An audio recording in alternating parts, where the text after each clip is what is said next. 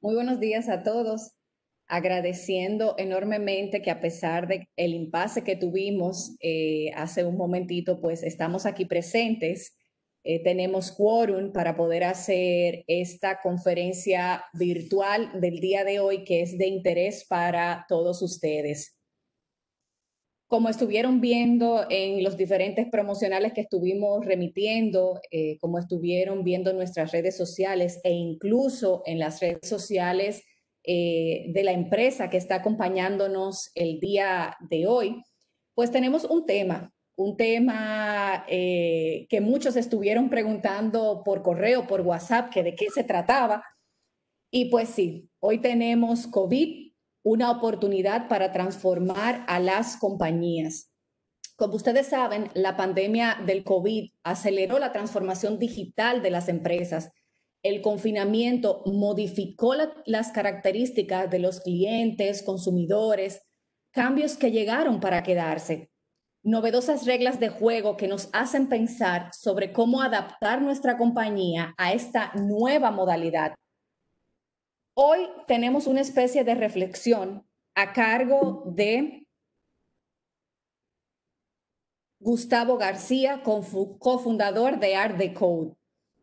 Están viendo en pantalla el perfil de Gustavo. Pueden ver que Gustavo es un profesional de sistema de información de Mind University de San Andrés, Management Integral de Negocios Digitales, más de 20 años ayudando a compañías de diferentes industrias a transformarse mediante la incorporación de tecnologías digitales y de la optimización de procesos de negocios con foco en el usuario y el cliente.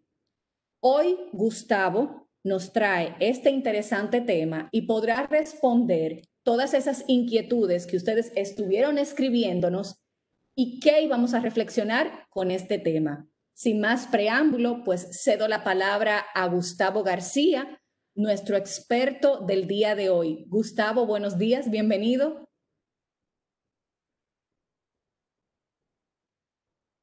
No te escuchamos, Gustavo.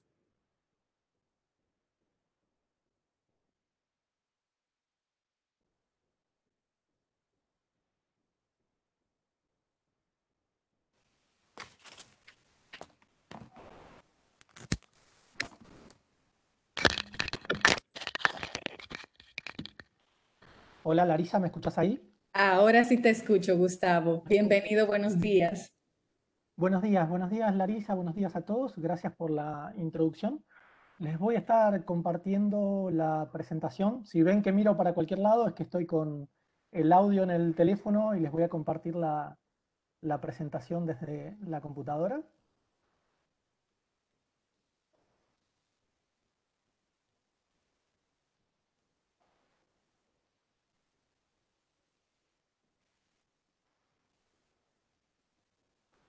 segundo.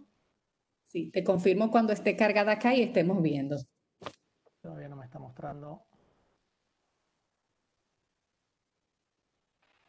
Tú vas a compartir, Gustavo, con el usuario para pasarte el mando por si acá.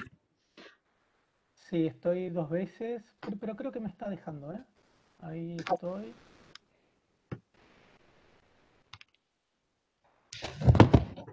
Ahí está cargando. Y ahí ya podemos ver. Buenísimo. Bueno, como bien decía Larisa, eh, nosotros venimos desde hace años eh, dentro de diferentes rubros trabajando en lo que es transformación digital, sobre todo en lo que tiene que ver con mejorar la experiencia del cliente, que entendemos que tiene un repago porque a las compañías y organizaciones les ayuda a reducir costos optimizando la, operación. ¿no? Eh, lo que tiene que ver con, los servicios públicos en, este, en esta etapa de, pandemia, digamos, la verdad que en menor medida más o menos los mismos efectos que generó el COVID en otras industrias, con la particularidad que la de servicios públicos y puntualmente la de distribución de energía es una industria, un servicio esencial, no, no fue nunca una, alternativa. con lo cual realmente no hubo tiempo para adaptarse. Eh, de un día para el otro hubo que seguir funcionando como se pudo, eh, principalmente con, los procesos de, distribución prendidos y por ahí otros levantes se apagaron temporariamente, pero en la medida que, esta pandemia se fue extendiendo en el tiempo, hubo que empezar a, a nuevamente. Eh, el servicio esencial, básicamente la distribución y mantener la infraestructura para que todo siga operando. ¿sí? Eso tratando de resguardar al mismo tiempo a los trabajadores, sobre todo por el riesgo que, que un positivo traía en la operación. ¿no?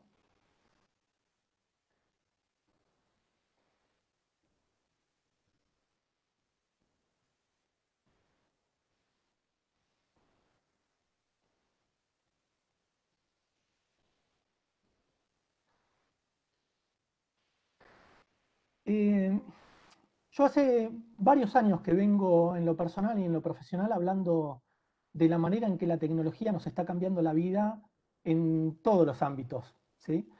Y de cómo este cambio transforma o atraviesa particularmente a las organizaciones, debiendo estas adaptarse a, a las nuevas costumbres que, que van adoptando las personas e incorporando las nuevas tecnologías en un mundo donde el cambio es cada vez más veloz el contexto es más complejo y más incierto, y donde no adaptarse pone en serio riesgo la supervivencia de las, organizaciones. Allá por el año 2018 di una en ADERA, la Asociación de Distribuidoras de Energía de, de, acá de Argentina, en donde en una de las primeras placas elegí mostrar el tsunami de Japón, graficar la amenaza invisible, esa amenaza que en algún momento se iba a hacer presente e iba a revolucionar una industria que por estar altamente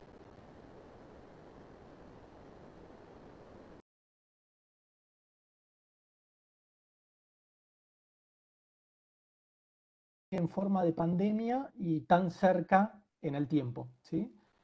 Eh, y después también quiero compartir con ustedes, tengo una anécdota que por ahí sale del rubro, pero que tiene que ver con esto de, de los cambios que la tecnología va generando. Yo juego al fútbol acá, me gusta, me gusta bastante jugar al fútbol. Juego el torneo de la gremiación médica en que es donde vivo, con lo cual muchos de mis amigos son profesionales de la salud. Y en algún asado, con alguna eh, discusión así media intensa, cuestiones profesionales, compartía con uno de esos amigos eh, acerca de, le, le, contaba acerca de las bondades que la inteligencia artificial estaba aportando, ¿no?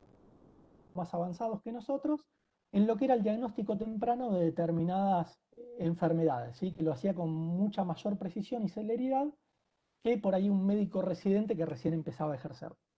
Y en ese entonces él me decía, no, estás loco, ¿cómo vamos a reemplazar a una persona con tecnología? ¿Sí? de la pandemia, él digamos, progresó un poco más en su carrera, está como director médico en un hospital público acá de esta zona, que tiene unos 300.000 habitantes en, la zona de, de, de, injerencia del hospital, ¿sí? y está viendo todas las maneras posibles para tecnológicamente a las personas para no exponerlas a un riesgo de contagio innecesario. ¿Sí? Con lo cual, el, el cambio tecnológico se da y a veces se da mucho más rápido que nuestra capacidad de asimilarlo, de adaptarnos. Elegí esta placa, digamos, saben que yo miro la industria de servicios públicos y realmente la veo muy parecido a Netflix. Eh, a simple vista lo veo muy similar. Pero si yo les digo esto, ustedes van a creer que probablemente esté loco. Eh, y les voy a contar qué es lo que estoy mirando. Probablemente no les saque la idea de que estoy loco, pero por ahí no tanto. En servicios públicos esperamos presionar el interruptor y que se haga la luz, siempre con la misma intensidad, sin cortes, sin interrupciones. Abrir la canilla y que salga agua limpia y fresca. Girar la cocina y que se encienda el fuego y tener siempre gas con la misma presión. De la misma manera en que con Netflix presionamos play y esperamos que se reproduzca el título en una buena resolución y de manera fluida y sin cortes. También en ambos casos lograr eso que para el usuario es tan sencillo, esconde un sinfín de elementos de hardware o de mundo físico sumado con software y personas que tienen entre sí para conseguir ese resultado deseado por el usuario. En lo que claramente hay diferencias entre Netflix y los servicios públicos, más allá de si es agua, gas o electricidad, es que Netflix no tiene sucursales en cada ciudad donde da servicio, ni siquiera en cada país, tampoco hay a dónde llamar por teléfono. ¿sí? La compañía es muy proactiva en buscar la perfección en su servicio, con lo cual tiene gente dedicada explícitamente a tratar de romper ese servicio y ese esquema de colaboración. Hardware del mundo físico, software y personas trabajando para generar ese resultado.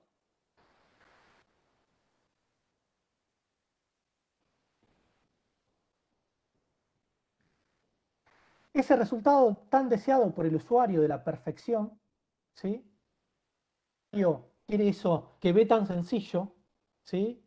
Y lo da por hecho, da por hecho que tenemos electricidad, que tenemos agua, con lo cual, digamos, por eso solo el usuario no va a estar feliz. Eh, precisamente, el usuario, si vemos en servicios públicos, nunca va a estar feliz porque le llegó la factura de servicios públicos, no es algo que lo pone gratificante. ¿Sí? pero sí le vamos a causar infelicidad cuando tengamos alguna interacción con ese usuario y nuestro comportamiento o esa interacción no se ajuste a lo que él espera de nosotros. ¿Sí? Es, la verdad, injustamente el usuario no valora que seamos capaces de manejar esa complejidad de hardware, software y personas para mantener la infraestructura, tratando de no tener pérdida de servicio.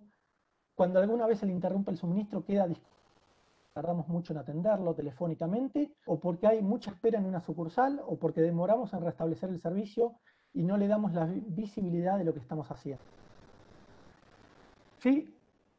Lo opuesto está en el caso de Netflix, donde el nivel de satisfacción es bastante alto, quizás porque la, la experiencia que se busca tenemos es, una, es más gratificante, digamos, tiene más que ver con el ocio que con algo a lo que ya estamos acostumbrados desde hace tantos años.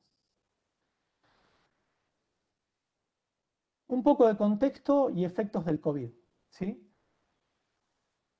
La energía e Internet, y Netflix también, pasaron a ser más importantes los hogares. Una interrupción de estos servicios trae como consecuencia que los adultos no pueden trabajar y los niños no pueden o esparcirse o interactuar con amigos. Al mismo tiempo, las distribuidoras se vieron ante la problemática de continuar operando, minimizando la afluencia o incluso en algunos países y en algunos lugares sin canales presenciales. Las compañías, pero principalmente los centros de atención telefónica, de repente tuvieron que adoptar esquemas de trabajo distribuidos para los que no estaban preparados. No hubo capacidad ni tiempo de planear. ¿sí? Los momentos de crisis como este no son momentos de planear, son momentos de actuar. Y en ese actuar sin planificar de pero también un montón de pasos en falso. Estamos en un contexto en donde esa incertidumbre, hay incertidumbre como nunca antes. ¿sí? En el caso de las compañías eléctricas, en general estaban muy preparados o están muy preparadas emergencias y emergencias de muchos tipos que podrían afectar la capacidad de generar, transportar o entregar energía a los hogares o a la donde operan, ¿sí? Desde fenómenos meteorológicos, terremotos y otros desastres naturales, hasta ciertos eventos de sabotaje por ahí están previstos. ¿Sí? El, el, el factor común... Cancelar el silencio debería de sonar. El factor común a todos ellos es que la contingencia suele ser corta en duración, desde algunos pocos minutos a unos pocos días. Esta pandemia claramente excede cualquier plan de contingencia y cae más en lo que sería un plan de continuidad del, negocio, pero con la, con la particularidad que requiere que las organizaciones se preparen para operar con una fuerza laboral significativamente menor, una red de proveedores y servicios de apoyo también muy afectada y reducida, y durante un periodo de tiempo extremadamente prolongado y sin, precisión de cuándo termina. Hoy no sabemos si este contexto COVID llegará hasta diciembre con algún febrero, marzo, realmente no lo tenemos claro. ¿sí? Y por el otro lado, el, desafío para las organizaciones de, servicios públicos no fue solo entregar energía, en este caso, confiable y segura, sino también realizar todas las demás actividades que son necesarias. Facturar, entregar las facturas a los usuarios y clientes, gestionar la deuda, cobrar, pagar proveedores, pagar sueldos.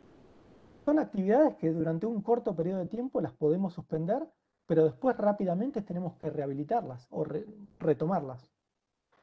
Sumado a esto, tenemos los nuevos desafíos de, pensar e implementar protocolos de bioseguridad para evitar el contagio y la propagación de virus dentro de los establecimientos de la empresa, capacitar y concientizar al personal en el uso de esos procedimientos y el material de seguridad, capacitar al personal remoto en las nuevas herramientas que tuvimos que incorporar para poder trabajar de manera distribuida lo mejor posible y adaptar los procesos que teníamos definidos por ahí para el mundo presencial o mundo físico, para este híbrido que, nos surgió en esta pandemia.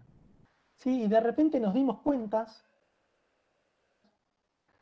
que es difícil, por no decir imposible, operar de manera distribuida y virtual si tenemos un montón de procesos con elementos que nos vinculan al mundo físico, como formularios preimpresos, legajo físico, firma holográfica, pagos en efectivo, ¿sí? y también teléfonos que suenan en una determinada ubicación geográfica o un determinado escritorio. Cuanto menos transformados estábamos digitalmente, más difícil se nos está haciendo transitar estos tiempos de pandemia. Y esta revelación generó, al principio un poco de parálisis y luego de la parálisis una aceleración en la adopción de la transformación hacia formatos digitales en todas las interacciones que tienen que ver con la organización y el usuario. ¿sí? Y en ese sentido, digamos, yendo de nuevo a lo que es transformación digital en términos generales, la verdad que no hay una única forma o una manera correcta de implementar la transformación digital, ¿sí? de, de una manera efectiva. Lo que sí hay como un acuerdo que la transformación digital, para llegar a buen puerto, se tiene que basar en tres factores claves. ¿sí? Por un lado las personas, por el otro las tecnologías y finalmente los procesos. Son como un tridente que se articulan, que se articulan. Y si lo hacen correctamente traen un montón de mejoras al cliente y, en su percepción de, de calidad de servicio, ¿sí? pero también, como dije al principio, trae beneficios a la organización en términos de reducción de costos y eficiencia. Lo primero y más, eh, en realidad ese tridente como que se va avanzando en simultáneo en, los tres factores, pero por ahí el más difícil de lograr es el de la transformación de la cultura organizacional, ¿sí? para que toda la empresa esté enfocada en el cliente ¿sí? y esté atenta a identificar oportunidades de mejora, a marcar aquellas partes del proceso que se podrían hacer de una manera diferente y cuestionar el que venimos haciendo desde hace tiempo. ¿sí? Por el otro lado, los cambios que se pueden generar están altamente afectados por la tecnología disponible, con lo cual también la, la empresa se tiene que abrir a investigar cuáles son las innovaciones tecnológicas que están disponibles para los diferentes procesos y qué están haciendo otras industrias. En lo que es servicios públicos, por ahí se tiene la, ventaja que se puede mirar hacia otras industrias y aprender de los aciertos y el camino hacia la transformación digital. ¿Sí? Y después la otra característica es que este proceso, digamos, para estar, sumarnos a la transformación digital, digamos, no es, eh, no es un, digamos, como que es un camino, ¿sí? es un proceso iterativo, incremental, y una vez que lo arrancamos, nunca vamos a frenar porque la tecnología es siempre cambiante, con lo cual siempre nos va a estar aportando nuevas soluciones. Y por el otro lado, para tener una, digamos, no es necesario que yo transforme digitalmente el 100% de los procesos que tengo. Digamos, ahí la verdad tengo que hacer un, un costo-beneficio de cuáles son aquellos procesos que tienen mayor impacto en la operación, que tienen mayor impacto en la calidad percibida por el cliente. Ahora, no nos transformamos digitalmente o lo habíamos hecho de manera muy precaria o, con muy poca cobertura y de repente nos llegó el COVID. ¿Qué podemos hacer durante el COVID? Lo primero que recomiendo es extremar la comunicación. Digamos, si hay compañías que no se habían sumado a la comunicación por redes sociales, les sugiero que se sumen. Digamos, es un muy buen canal para información a los usuarios. Y en este contexto, ser claros en la comunicación acerca del servicio, la o no del mismo, como otra información relevante para los clientes, como los canales y horarios de atención disponibles, en este momento es crítico, ¿sí? Y la información tiene que ser precisa y oportuna. Eh, en este caso tenemos que, sumar, digamos, la verdad es los, los usuarios se encuentran muchas veces con mucha falta de información, no solo en lo que tiene que ver con servicios públicos, sino en general de cómo está funcionando la nueva normalidad, ¿sí? Entonces recomiendo realmente adoptar redes sociales, ¿sí? Seguramente por hacerlo medio a las apuradas y sin ningún plan, digamos, no va a ser perfecto porque no hay tiempo para planear, pero creo que aplica en este contexto que lo perfecto es enemigo de lo bueno y mejor empezar a hacerlo, ¿sí? Y después tratar de incorporar lo que se pueda de autogestión y mayor cantidad de canales, ¿sí? Eh, desde, digamos, en, este contexto, eh, el usuario necesita recibir digital preferentemente, eh, necesita algún medio preferentemente digital para abonarla, o si fuera en efectivo, porque en Latinoamérica tenemos todavía mucha cultura de manejo de efectivo, por lo menos estar integrados con las redes de recaudación extrabancaria como para multiplicar eh, los canales disponibles para, para, ingresar ese efectivo y también ampliar los, los horarios disponibles. ¿sí? Y el cliente necesita poder comunicarse con la eh, y en este contexto, con una fuerza laboral reducida en cantidad y también en dedicación, porque por ahí están haciendo teletrabajo, con los chicos haciendo escuela desde la casa y teniendo que cocinar, limpiar, como con todas las actividades mezcladas, mover la comunicación presencial y telefónica hacia canales digitales pareciera acertado. Hay soluciones de chat, como digamos, un ejemplo es la nuestra que tenemos en nuestro producto Innova, pero hay hay muchas que superan ampliamente la, la, la atención telefónica. Sí, primero porque el usuario las prefiere, es un canal al cual ya está eh, acostumbrado a utilizarlo de, manera asidua en otros contextos de su vida, digamos WhatsApp, por ejemplo, pero también eh, Facebook Messenger, Twitter, Telegram, cualquiera de esas plataformas. ¿sí? En segundo, porque permite fácilmente utilizar los trabajadores de manera distribuida, ¿sí? ir asignando los chats de acuerdo a la disponibilidad de cada, de cada uno de esos trabajadores. Y también porque, al contrario de lo que pasa con la atención telefónica, en la atención por chat se puede multiplexar la atención, es decir, un mismo operador puede estar atendiendo vía chat diferentes, eh, a diferentes clientes o diferentes consultas. ¿sí? La cantidad que puede atender varía un poco de la capacidad que tenga ese operador y de la complejidad del problema. Hasta cuatro o cinco conversaciones en simultáneo entendemos que se pueden llevar adelante de manera más o menos satisfactoria. Digamos, otra particularidad del chat es que la respuesta nadie la espera de manera instantánea como es en la comunicación telefónica. Eh, y después también, digamos, en esta etapa durante COVID, una recomendación, digamos, nosotros cuando nos ha tocado hacer implementaciones en empresas de servicios públicos, nos ha pasado que nos hemos encontrado con bases de clientes o usuarios de, que tienen una muy pobre calidad de datos, ¿sí? donde el único usuario que está identificado es el titular, ¿sí? y no se tiene en cuenta al resto de los usuarios que viven en esa casa como, como clientes del servicio, como para darles un servicio digamos, de notificaciones, avisarle que se les va a cortar el suministro, cuánto va a tardar en, resolverse la contingencia y esas cuestiones. Y en algunos casos, ni siquiera el titular que figura como titular del servicio sigue siendo el usuario del servicio porque o esa persona ya no vive más o no habita ese domicilio. ¿Sí? Y entendiendo que en la nueva normalidad, con los nuevos vamos a necesitar una base de usuarios más amplia y más precisa para estar a la altura del servicio esperado en la pospandemia. Eh, con lo cual es momento de empezar a generar estrategias para captar esa información, digamos, también porque el usuario en este momento está más permeable a darnos información de contacto para que lo podamos atender mejor ¿sí? en, este, en esta etapa de pandemia. Eh, de nuevo, digamos, el título de la presentación era una oportunidad. Eh, soy una persona positiva, optimista, digamos, trato de no, de no quedarme mucho tiempo en lo, negativo y trato de ver las oportunidades que las crisis nos acercan. Eh, este es un momento difícil que estamos atravesando en todo el mundo, en todas las industrias, pero pronto lo vamos a superar y seguramente nos va a dejar un montón de cosas, de cosas buenas. ¿sí? Con lo cual el consejo es aprovechar estos meses que nos quedan de convivir con la pandemia para planear con tiempo y crear nuevas capacidades, programas de mejora, ¿sí? prepararnos para, esta nueva normalidad.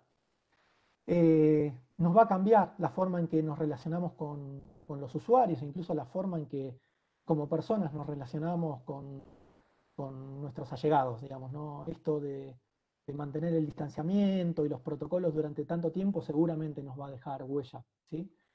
Eh, y bueno, nos tenemos como organizaciones, nos tenemos que preparar para esa nueva normalidad y aprovechar este tiempo, digamos. Eh, seguramente tenemos personal que está en población de riesgo, que por ahí no puede desempeñar la tarea que desempeña normalmente, con lo cual es momento de pensar en qué tarea, qué tarea le podemos asignar a esa persona para que efectúe desde la casa cuidando su salud. ¿sí? Eh, es momento de empezar a repensar los diferentes procesos, ¿sí? e identificarlos y documentarlos, generar planes para el post pandemia.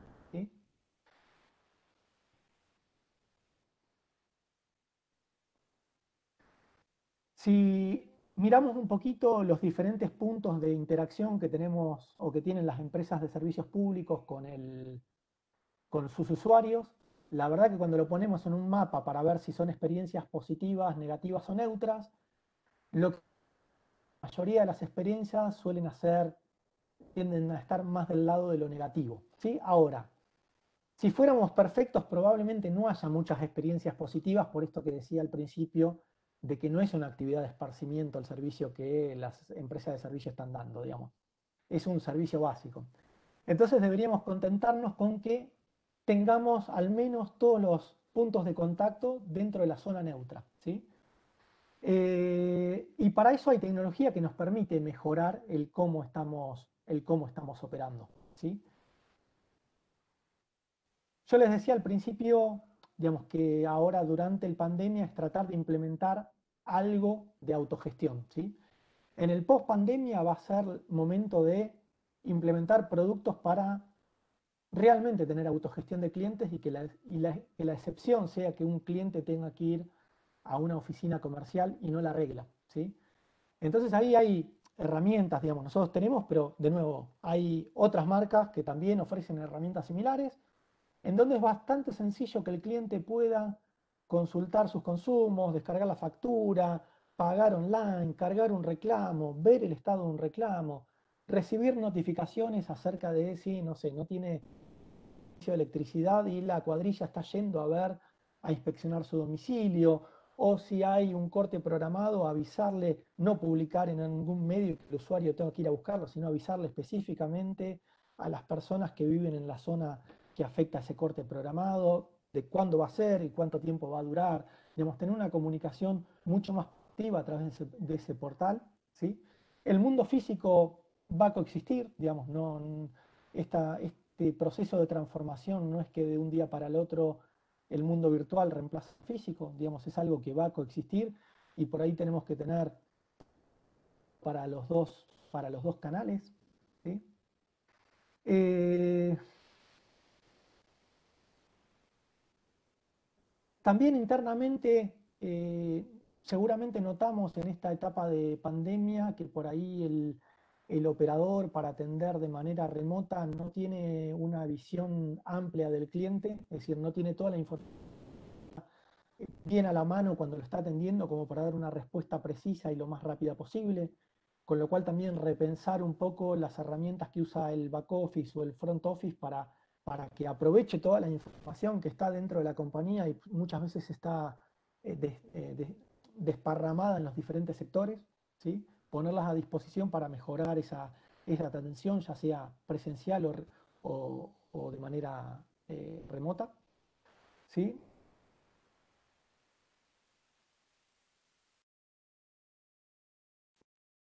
son las gestiones que el cliente tiene con, con la, y darle visibilidad al cliente.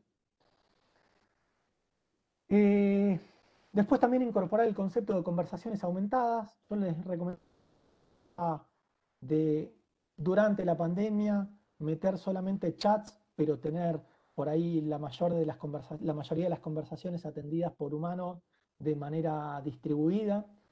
Eh, ese trabajo nos va a empezar a generar una base de conocimiento que después mediante inteligencia artificial para que haya determinado nivel de conversaciones que las pueda tener de manera automática un software y recién cuando la conversación se encamina por algún lugar en donde el software no puede responder adecuadamente, eh, el chat pasa a un operador ¿sí? y después el operador una vez que lo, que lo resuelve puede volver Ejemplos de esto que se me ocurren o que podemos hacer y estamos haciendo es eh, una vez que tenemos identificado un usuario, una pregunta acerca de tu situación de mora o que no le llegó la factura y la quiere y pasarle por chat un link a la factura para que la... Eh, o preguntar acerca del estado de un reclamo, de un trámite. Digamos, todas son, son tipos de conversaciones que tranquilamente un chat podría estar resolviendo de manera autónoma e incluso de manera omnicanal. Es decir, por ahí la persona metió un reclamo a través del portal de autogestión y después se conecta por Facebook Messenger o WhatsApp y yo sé que es la misma pregunta, la misma persona, digo, el software sabe que es la misma persona y cuando me pregunta por el estado de su reclamo o de su trámite y yo veo que tiene uno solo, ni siquiera hay que pedirle que nos pase el número de gestión con lo cual el chat ahí una conversación mucho más inteligente que la que muchas veces estamos incluso ofreciendo con un humano a través de, una conversación telefónica. Dimos el número de gestión al cliente para poder consultarlo. Después también elegir eh, tener, digamos, la comunicación saliente de la compañía, tener muchas más comunicaciones más efectivas, más rápidas y eficientes, tener trazabilidad en las comunicaciones, Hoy nosotros tenemos ya ahí en el mercado tecnología que permite eh, definir un, segmento destinatario de un mensaje y de acuerdo a, a, determinadas reglas y al tipo de mensaje que queremos enviar, que el software determine automáticamente si es un mensaje que hay que hacerle llegar a determinada persona por email, a otro por SMS, a otro por Telegram o por alguna red. Eh, y ese mismo software con el tiempo puede ir aprendiendo y modificando sus decisiones. Es decir, por ejemplo, puede que el mail eh, a primera hora de la mañana y con el fluir de las comunicaciones el software iría aprendiendo que es mejor mandarle a la lista la notificación bien temprano como para que cuando entra a su casilla el mail de la distribuidora esté bien arriba y no perdido entre todos los después. Después, bueno, también fundamental, digamos, la integración online con el ecosistema de pagos. Acá eh, el hecho de mandar la factura o los documentos comerciales en formato digital, lo que hace es, de alguna manera, delegar en el cliente el problema de, de cómo imprimir esa factura, dónde imprimirla para después ir a pagar. Eh, la verdad que de nuevo, hay soluciones para integrarse online con ese ecosistema de pagos para que el cliente pueda ir y con el número de suministro o el número de cliente recuperar de los sistemas comerciales de la distribuidora de manera online la deuda de ese cliente y que cuando el cliente abona la distribuidora enterarse que ese cliente pagó. Eso tiene beneficio para el cliente porque le ahorramos el tener que imprimir, pero también tiene beneficios para la distribuidora porque se entera en el momento que tiene una cobranza que en algún momento se le va a acreditar. Puede evitarse suspender el servicio a un cliente que estaba en situación de mora, incluso si por ahí la cuadrilla estaba en camino a suspender el servicio, la puede frenar con la integración necesaria. O puede rehabilitar el servicio antes en el caso de un cliente al cual ya se lo había suspendido por falta de, por falta de pago. Todo esto claramente redunda en una mejor calidad de servicio al cliente. ¿sí? ¿Sí? Y todo esto, como les decía al principio, lo que nosotros vemos en, las implementaciones que hemos, que hemos tenido es que por un lado reduce los reclamos, digamos, nosotros cuando tenemos la certeza de que hicimos llegar la factura en formato digital, eh, ya sabemos a qué cliente le llegó y a cuál no, evitamos reclamos de los que dicen que no llegó la factura para tratar de negociar un pago postergado cuando en realidad le había llegado. ahorramos costos en lo que es correo tradicional, porque enviar facturas por medios digitales es sustancialmente más económico y más rápido que por los medios tradicionales. Somos capaces de reducir también el plazo de cobro, primero porque entregamos la factura más rápido, digamos, ponerle acá en, los clientes que tenemos implementados, tienen para aquel cliente que está suscripto a los canales digitales y al que está suscripto al correo tradicional. ¿Por qué? Porque en el canal digital, si la factura se emitió eh, a primera hora de la mañana, para antes del mediodía ya tenemos un 30-40% de los clientes que ya visualizó la mora. Cuando en el correo tradicional por ahí tardamos 10 días al menos en hacer llegar una pieza y no tenemos confirmación de que esa pieza realmente llegó, con lo cual la mejora es sustancial. Bueno, ya en lo que tiene que ver con mi presentación, digamos, estoy cerrando, salvo ahora vamos a pasar a la fase de, preguntas si es que las hay. Eh, de nuevo, los insto a que tratemos de ver esto como, una oportunidad, que nos abrió los ojos, que nos, eh, nos generó la oportunidad de ver las mejoras que podemos y tenemos que hacer, ¿sí? y que hubiéramos tenido que hacer antes si no estuviéramos en un mercado tan regulado en donde casi no hay competencia. ¿sí? Eh, esto va a redundar en beneficio para la compañía o para las compañías y también para los clientes.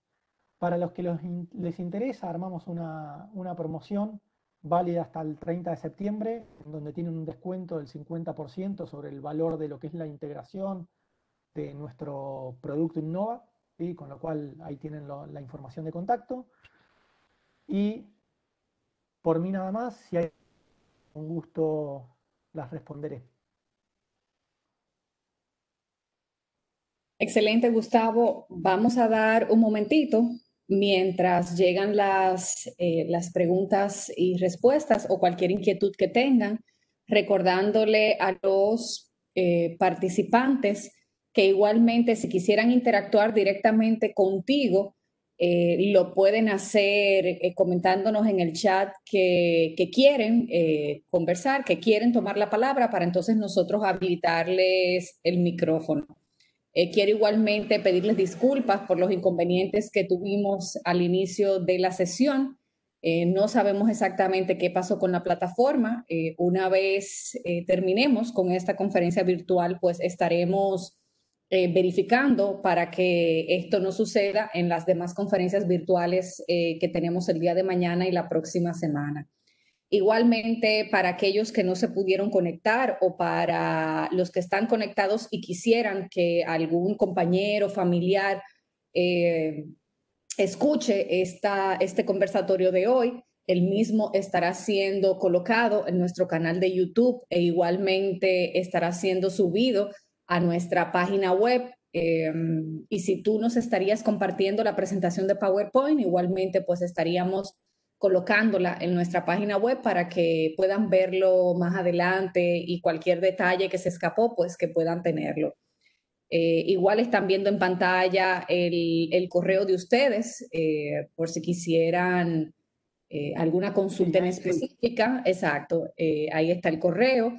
Eh, igual me pueden escribir y si necesitan el correo de Gustavo, pues se lo podemos hacer llegar. Ah, bueno, ahí está en pantalla el, el correo de Gustavo también y los teléfonos eh, para cualquier consulta en específico. Gustavo, ¿querías comentarme algo? No, ahí, digamos, más allá del interés o no del producto nuestro, digamos, si alguno quiere, quiere tener alguna conversación para que le cuente más en detalle las, eh, algunas de las experiencias que tenemos en, servicios públicos, de los beneficios que, tuvimos bien concretos, digamos, ahí mi contacto, mi, teléfono, organizamos y les contamos. La verdad tenemos la suerte de tener entre los clientes nuestros a, una de las compañías de servicios más grandes de, Latinoamérica, que es una distribuidora de gas que tiene cerca de 2 millones y medio de, de abonados en de Argentina, con lo cual tenemos eh, digamos, problemas de, distribución y de comunicación impresionantes. Eh, y bueno, nos ha dejado enriquecido mucho esa experiencia y, otras también de una distribuidora de energía de, la zona de, La Plata, acá cerca de la ciudad de Buenos Aires. Eh, y en otras industrias también que implementamos el mismo, el mismo producto. Y al final, digamos, como que hay cierta similitud entre lo que un usuario espera de una compañía de servicios públicos y lo que espera de un banco o de Netflix o de cualquier otra compañía de servicios con la que interactúa. Sin ningún compromiso me pueden contactar y charlamos y me cuentan y les doy mi opinión sobre lo que quieran hacer. Excelente, Gustavo, excelente. No tenemos preguntas en el chat, eh, por lo que entonces estaríamos eh, dando por terminada nuestra sesión de hoy. Eh, sin antes, eh, pues no dejar de darle las gracias a Gustavo y al equipo de Art de Code que siempre están dispuestos a traernos estos temas de interés para, para todos ustedes que están con nosotros el día de hoy. No es la primera vez que están con nosotros, es la segunda y esperemos que a futuro pues sigan estando con nosotros. De verdad que Gustavo, eh, a ti y a todo el equipo que estuvo eh, facilitando esta conferencia, pues darte las gracias por siempre tenernos pendiente y, tenernos ahí en agenda. Muchísimas gracias. Muchas gracias a ustedes, Larisa, por, por el espacio para contar sobre lo que hacemos y sobre la problemática. Excelente. Y muchísimas gracias igualmente a nuestros participantes. Me han estado escribiendo por el chat sobre el número de WhatsApp y otras informaciones que estuvimos dando al inicio. Quédense un momentito que voy a colocar nuevamente la presentación. Sin más, ahí, pues... Ahí, hay una pregunta. Eh, ¿En qué ejes temáticos ah, capacitar a los trabajadores? Sí. Eh, ahí principalmente, digamos, yo cuando mencionaba la transformación digital y hacía referencia a lo que es el cambio cultural, digamos, hay que hacer más permeable la organización a recibir sugerencias de mejora de las personas que están haciendo front con el usuario, es decir, de los, de los, de los operarios o de los administrativos que están interactuando, ya sea de manera telefónica o presencial, con, con el usuario, que son por ahí los que tienen la, los que están en el frente de batalla y tienen la oportunidad de detectar cosas que se pueden mejorar.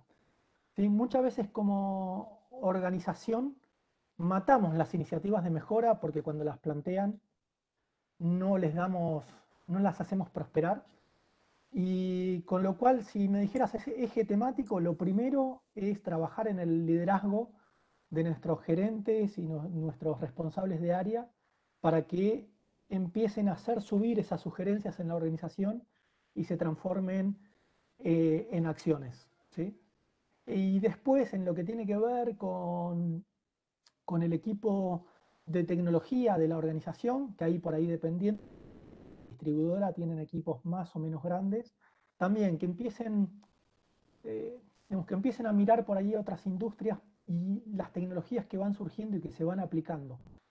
Lo que es servicios públicos, por esto que decía yo antes, de la falta de, de ser un mercado regulado y que no haya mucha competencia, la verdad no había mucho eh, mucha motivación para innovar en lo que era calidad de servicio al cliente, en lo que no era con provisión de energía, por ejemplo, ¿sí? en, todos los demás puntos de contacto. Porque no nos estamos peleando con nadie por el cliente, el cliente viene solo a otro proveedor. Eh, con lo cual, esa barrera o esa cultura instalada la tenemos que romper, ¿sí? y tenemos que, que generar cambios, generar eh, en el equipo de tecnología que empiece a mirar y que entienda que tenemos que meter tecnología porque tiene repago para la organización en términos de costo. Más allá de si tenemos o no tenemos tarifa, cuando hacemos la cuenta del beneficio económico que nos trae, siempre nos da positivo y que tiene repago.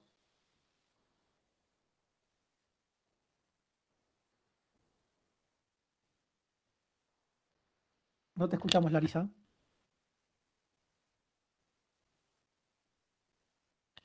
Ahora sí, vamos a, estoy confirmando en el chat que no tenemos ninguna pregunta. Te están dando las gracias, Gustavo, por responder eh, la pregunta. Vamos a dar un momentito por si alguna está por ahí, si no, entonces...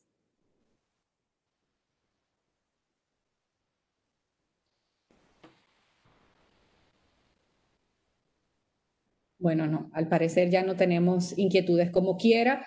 Eh, como dijimos anteriormente, estaremos compartiendo los datos de Gustavo eh, y de la compañía por si quisieran hacer alguna pregunta en específico, eh, pues poder contactarlos y hablar directamente con ellos.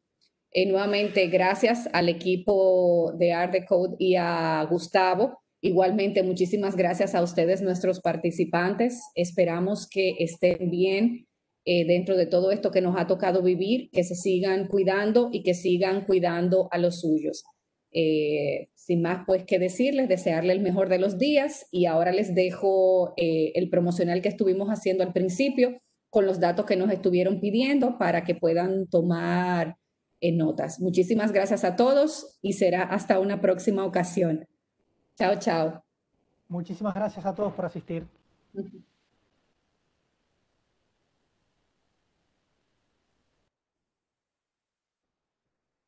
Acompáñanos mañana a la tercera y última sesión de la serie de conferencias virtuales Planificación de redes de distribución inteligentes y sustentables. La próxima semana tenemos dos conferencias virtuales. El miércoles, la conferencia Deja de invertir en publicidad donde se estarán desarrollando el análisis de Big Data que maneja las empresas eléctricas en cuanto a la caracterización de sus clientes y su comportamiento y cómo pueden aprovechar esta información para incursionar en nuevos negocios relacionados a la publicidad. Y el jueves, como el último jueves de cada mes, tenemos una conferencia sobre geotermia, avances y experiencias prácticas en el diseño y construcción de sistemas geotérmicos de baja entalpía para climatización de obras civiles. Te esperamos. Como es del conocimiento de muchos de ustedes, el pasado mes de julio, a propósito de nuestro onceavo aniversario, comenzamos con la iniciativa Somos Secasier es una iniciativa que nos permitirá acercarnos más a ustedes y que ustedes conozcan las caras de las voces o los correos o WhatsApp que ustedes reciben día a día.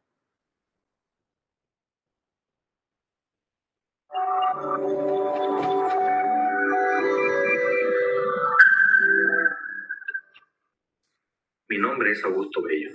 Soy ingeniero mecánico electricista graduado en la Universidad Autónoma de Santo Domingo en octubre del año 2010.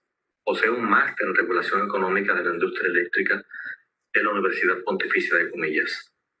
Tengo 18 años de experiencia en el sector eléctrico en República Dominicana. Los invitamos a que formen parte, que sean parte de la gran familia que es el Secasier. Todos somos Secasier.